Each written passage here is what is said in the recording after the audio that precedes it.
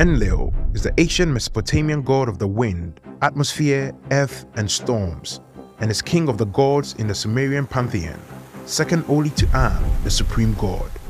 None is more powerful than him out of all the other elemental deities, and according to some important Mesopotamian texts, he is the greatest god of them all after his father. He was a son of An, and with him and Enki formed a triad which governed the universe, sky, atmosphere, and earth, and the only god with direct access to An, controller of the universe.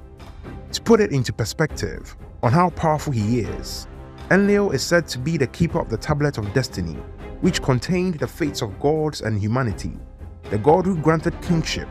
and an unstoppable force whose decisions could not be questioned.